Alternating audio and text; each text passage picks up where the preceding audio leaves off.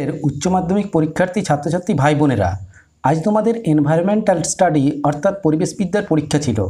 আশা করি তোমাদের পরীক্ষা খুব ভালো হয়েছে।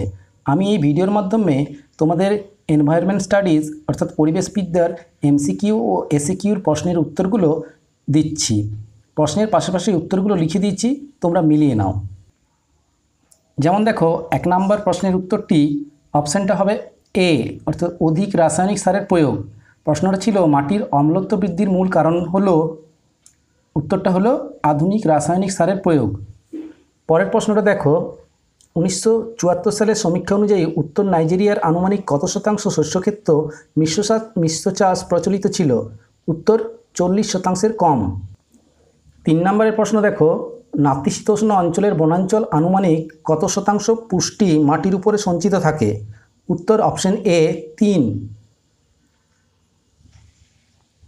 পরের প্রশ্নে আসি, কোন দেশে কনভেনশন অফ বায়োডাইভার্সিটি অনুষ্ঠিত হয়েছিল? উত্তরটা হবে ইরান। পরের প্রশ্ন, ভারতবর্ষে বিপন্ন প্রজাতির উদ- উদ্ভিদের মোট সংখ্যা বর্তমানে কত? উত্তর হবে বাহাত্তর। পরের প্রশ্ন, ভারতীয় বন আইন কোন সালে প্রণয়ন হয়েছিল? উত্তরটা হবে উনিশশো সত্তর সালে। পরের প্রশ্ন, ভারতবর্ষে অ্যাটমিক এনার্জি আইন কোন সালে প্রণয়ন হয়েছিল? এটা উনিশশো বাষট্টি সালে। পরের প্রশ্ন, বিটি শস্য হলো এক প্রকার, উত্তরটা হবে জিন পাল্টানো শস্য। পরের প্রশ্ন, প্রথম মানব পরিবেশ সংক্রান্ত সম্মেলন কোন সালে স্টকহোমে অনুষ্ঠিত হয়েছিল? উত্তরটা হবে উনিশশো বাহাত্তর সালে। নেক্সট প্রশ্ন, জীবের শ্রেণীবিন্যাসের ক্ষুদ্রতম একক কী? উত্তর হলো প্রজাতি। পরের প্রশ্নে আসি, জীব বৈচিত্র্য শব্দটিকে প্রথম প্রচলন করেছিলেন। উত্তরটা হবে ই ও উইলসন।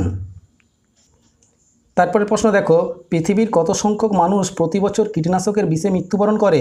উত্তর, এইখানে যে অপশানগুলো দেওয়া আছে, সেই অপশানগুলোর কোনোটি উত্তর হবে না। তাই অপশান ডি এর উত্তরটি এখানে সঠিক হবে, এদের কোনোটিই নয়। পরের প্রশ্ন দেখো, পৃথিবীর কত আয়তন জমি প্রতি বছরে ভূমিক্ষয়ের কারণে নষ্ট হয়ে যাচ্ছে? উত্তরটা হবে তিরিশ লক্ষ হেক্টর। তারপরের প্রশ্নে আসি, গ্রীষ্মকালে ক্রান্তীয় এবং নাতিশীতোষ্ণ দেশের দিনের দৈর্ঘ্যের মধ্যে ব্যবধান কত? উত্তর হবে তিন ঘণ্টা।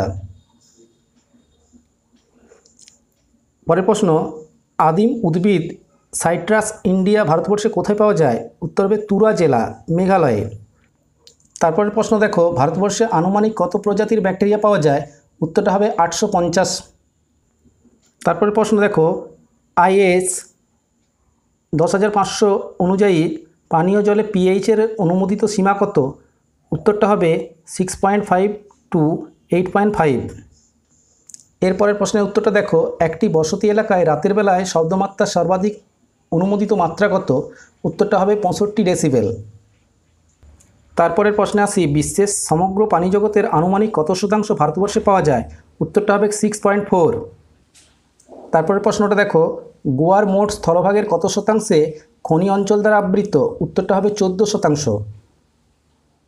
পরের প্রশ্ন, আন্দামান নিকোবর দ্বীপপুঞ্জে কত প্রজাতির সপুষ্পক উদ্ভিদ পাওয়া যায়? এটা উত্তরটা হবে দু হাজার প্রজাতির। পরের প্রশ্ন, মায়া সভ্যতার বিনাশের প্রধান কারণ কি?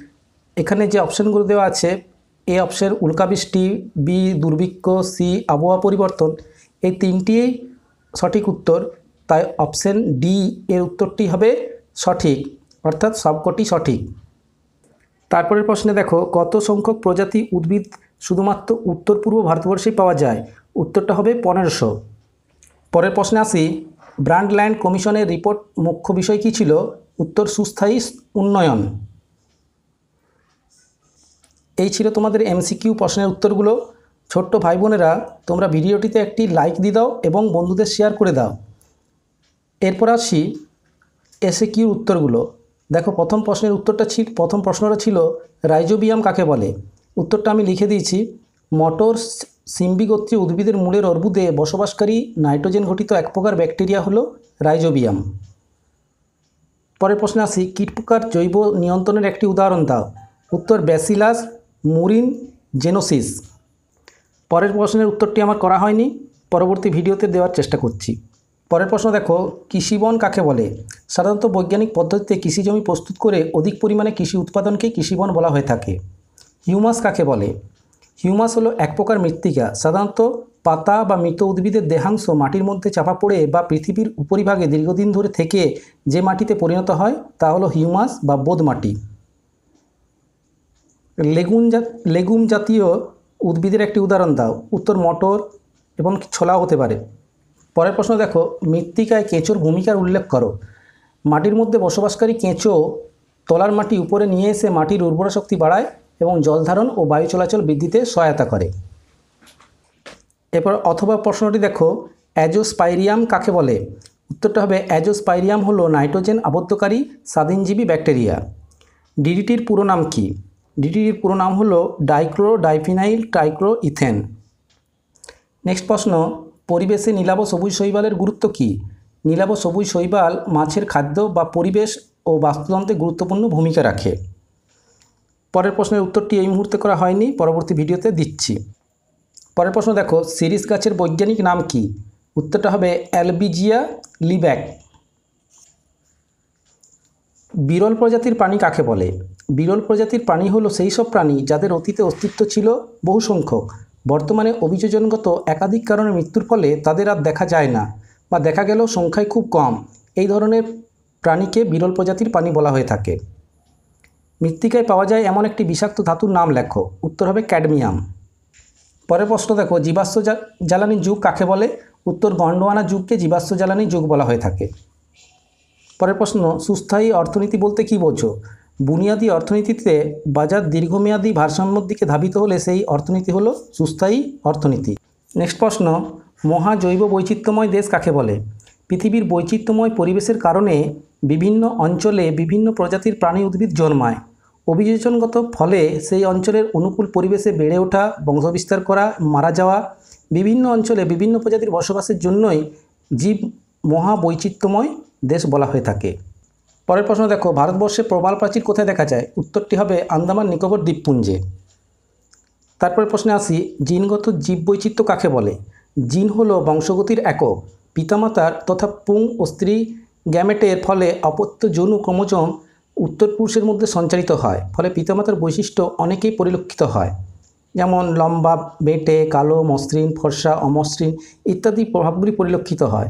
এই ধরনের বৈচিত্র্যকেই জিনগত জৈব বৈচিত্র্য বলা হয়ে থাকে। বিশ্ব ঐতিহ্যময় স্থান কাকে বলে?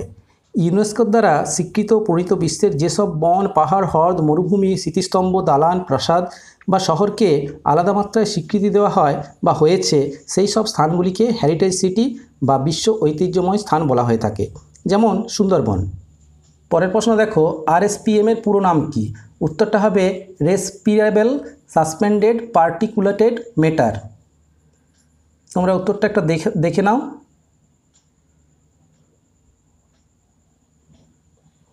পরের প্রশ্নে আসি সিআইটিইএস এর পুরো নাম কি? Conventions of internationals trade in endangered species sorry আমার পড়তে অসুবিধা হলো। তোমরা বানানটি দেখে দেখে মিলিয়ে নাও। পরের প্রশ্ন দেখো, জৈব সঞ্চয়ন কাকে বলে? এই উত্তরটাও এই মুহূর্তে আমার করা হয়নি, পরবর্তী ভিডিওতে দেওয়ার চেষ্টা করছি। তোমরা ভিডিওটি দেখে একটি লাইক করে দাও এবং নিচে লাল রঙের যে সাবস্ক্রাইব লেখাটি আছে সাবস্ক্রাইব লেখাটিতে ছুঁয়ে পাশে নোটিফিকেশন বেল আইকনটি বাজিয়ে অল অপশানটি সিলেক্ট করে দাও। তাহলে পরবর্তী পরীক্ষার ভিডিও বা যে কোনো ধরনের ভিডিও দিলেই সবার আগে তোমার কাছে পৌঁছে যাবে। আগামী পরীক্ষাগুলি তোমাদের খুব ভালো হোক। এই মঙ্গল কামনা করে আজকের ভিডিওটি এখানেই শেষ করছি।